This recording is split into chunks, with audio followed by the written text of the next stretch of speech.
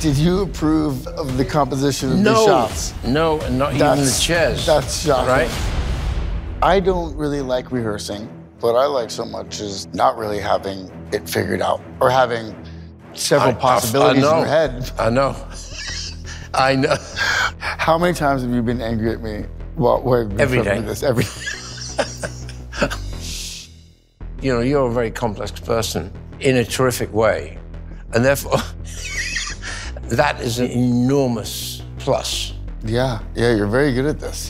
Thank God you're here. no, seriously, to, to the time of my life.